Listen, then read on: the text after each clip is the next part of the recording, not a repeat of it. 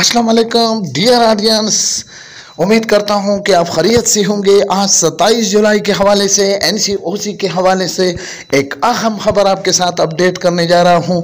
यकीनन आपको सुनकर खुश होंगे कि एनसीओसी का इजलास जो कि आज होना था, वफाकी वज़ीर तालीम शफकत महमूद साहब का बहुत बड़ा बयान आया है और फैसला तकरीबन हो चुका है।